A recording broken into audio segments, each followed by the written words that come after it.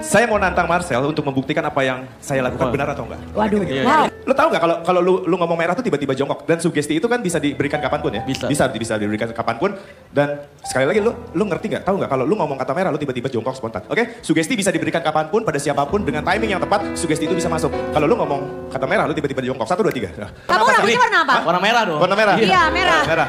Iya kan? Warna merah kan? Eh, Nah, kamu itu pesulap apa? Pesulap apa? Sulap merah. Pesulap merah. Iya benar. Yang merah muda ini nih. Iya. Tuh kan. Yang ini nih. yang mana? Ini nih. Kamu ngapain tiap merah lu jongkok, tiap merah lu jongkok? Jongkok. Baru kenapa orang nih? Halu. Halu, halu. Mereka halu. Ini gue yang dikata halu. Halu mereka. Lu terkenal sebagai pesulap? Merah. Ah. Iya.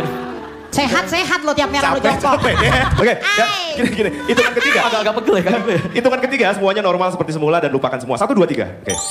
Lu pesulap? Merah. Merah ya, oke. Kita Jadi buktikan